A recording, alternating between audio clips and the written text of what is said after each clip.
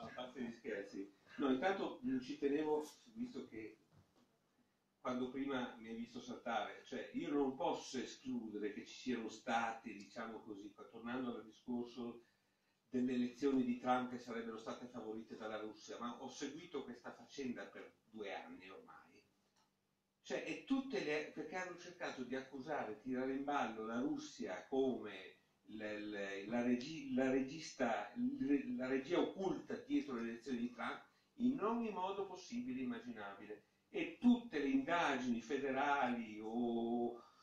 che, che, volte a dimostrare questa cosa sono tutte naufragate nel nulla. Ed è per quello che ti dico, io non escludo che magari alla Russia non sia spiaciuto che al posto della Clinton, se fosse stata eletta la Clinton, signori, adesso saremmo dentro il bunker nucleare, tanto per chiarire, perché quella avrebbe scatenato la terza guerra mondiale così. Invece Trump, che sembra il pazzo, il folle, effettivamente certi suoi comportamenti non riesco a decifrarli nemmeno io, però guardando i risultati pratici di certe sue prese di posizione apparentemente contraddittorie o incomprensibili, però guardando i risultati di fatto eh, per il momento delle cose che avrebbero dovuto accadere molto gravi in qualche modo non sono ancora accadute quindi per me Trump rimane un, ancora un grosso enigma. E, ehm, però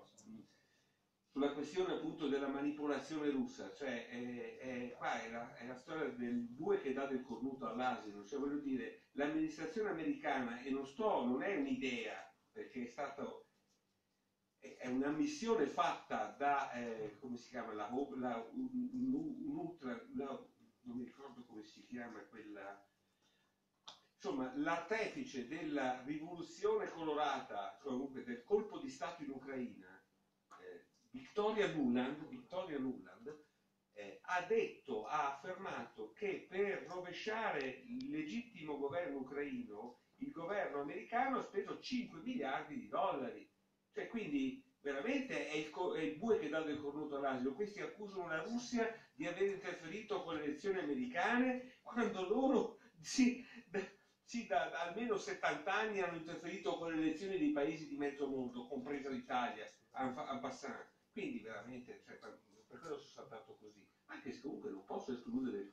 che ci sia, cioè non, non lo so, bisognerebbe essere ben più addentro a certe stanze dei bottoni dove vengono prese certe decisioni e vengono messe, tirate certe rele e messe in, messe in moto certe dinamiche. Però alla luce dei fatti concreti assolutamente assodati è l'esatto contrario. Quindi, ho detto, non volevo contraddire quello che dicevi. Per quel che riguarda la Cina, eh, il progetto della smart grid, eh, adesso mh, mm, io suppongo, spero, che, eh, anche se non l'hanno espressamente dichiarato, le tecnologie a cui faranno riferimento per raggiungere questo obiettivo, mi auspico che finalmente non solo per, come marchio di un'automobile elettrica, ma finalmente il genio di Tesla recuperi il suo posto e che, e che le sue idee e le sue tecnologie vengano finalmente implementate a livello globale. Non dimentichiamo che per, cioè, eh, è inutile che continuiamo a cercare, al di là dei, appunto, delle fonti energetiche per produrre tutta questa energia, e tu facevi riferimento appunto al nucleare, che è una cosa veramente noi non abbiamo nemmeno idea, non abbiamo nemmeno idea, a, a, a, proprio come dicevi tu, a, livello, a, livello, di molte dimensioni dei danni che la tecnologia nucleare ha fatto e continua a fare questo, al mondo in cui viviamo. Ultimo esempio, Fukushima, di cui non si parla più, ma che se qualcuno, se qualcuno ancora osa tirare in ballo Chernobyl mi, cioè, mi viene a sputarli sul muso perché i danni i danni che l'incidente di Fukushima ha causato e continua a causare, perché anche se uh, pensa, il mondo pensa che finalmente lì non succeda più niente, no? che la, la, l'emergenza sia rientrata, non è assolutamente così. Soprattutto le acque, le acque reflue radioattive.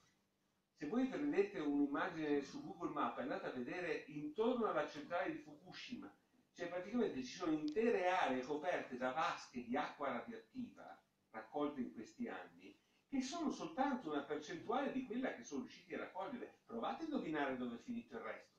Dove si trova Fukushima? Si affaccia sul Pacifico. Andate a vedere le testimonianze, i danni, le mutazioni genetiche nella popolazione ittica,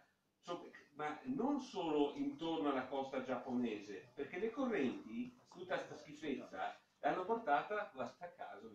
il karma, no? Cioè gli americani hanno sganciato la bomba sui giapponesi e, e, e 70 anni, no, quante, 70 anni dopo, o hanno più o meno, la loro radioattività li sta tornando attraverso l'acqua, attraverso il Pacifico, perché se andate a vedere rapporti certo non pubblicati né sul Corriere della Sera né dal New York Times, soprattutto nelle coste del Canada,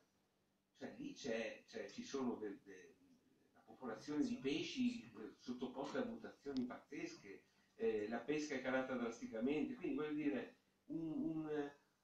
un, veleno che silenziosamente sta tornando da chi l'ha originato. Ma al di là di questo discorso, appunto, mh, mm,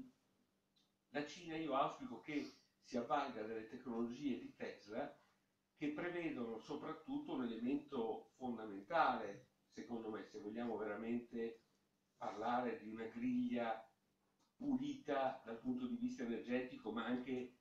eh, non, che non devasta l'ambiente. Oggi noi siamo costretti, e, e, voi che vivete qui lo sapete meglio di chiunque altro, perché qui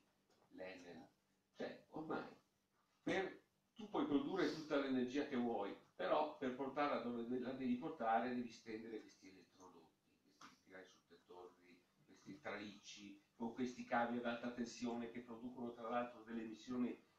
elettromagnetiche non da, non, non, che non fanno bene né all'ambiente né agli umani che ci vivono intorno, ma questa è letteratura, letteratura scientifica che potete trovare anche da noi. Invece la tecnologia di Tesla era basata su cosa? Sulla trasmissione di energia senza fili. Per quello che il, genio di Nikola Tesla è stato cancellato dalla storia, perché non solo, e lo stava dimostrando nel 1903 con la costruzione della torre di Waterview a Long Island, lui voleva dimostrare praticamente non solo la possibilità di produrre energia pulita utilizzando il magnetismo terrestre, perché pensate, cioè, la dinamo della bicicletta che cos'è se non una coppia in piccolo del nostro pianeta che gira intorno il campo magnetico, cioè eh, noi viviamo immersi in un mare di energia. È chiaro che i sistemi,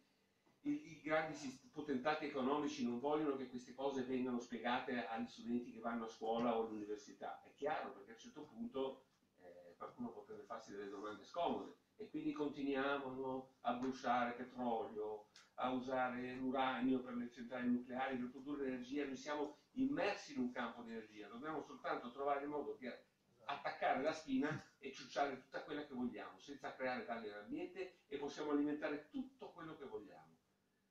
E soprattutto, oltre alla produzione di energia pulita, la trasmissione di questa energia senza fili, come le onde radio.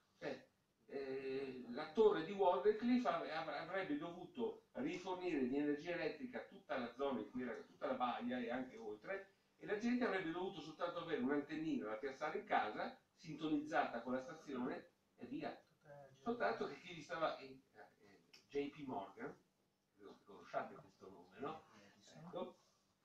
Edison, è JP Morgan che finanziava la cosa. E quando JP Morgan ha fatto la domanda chiave, sì scusi signor Tesla, ma eh, per far pagare questa gente come si fa? Ah, cioè, non puoi mettere un contatore vicino all'antellina. Quindi questa è stata la morte, la morte, se non fisica, la morte, la morte sociale, diciamo così, di quel grande genio che fu Nikola Tesla. E beh, adesso possiamo lasciare spazio a qualche domanda, perché insomma io non, non so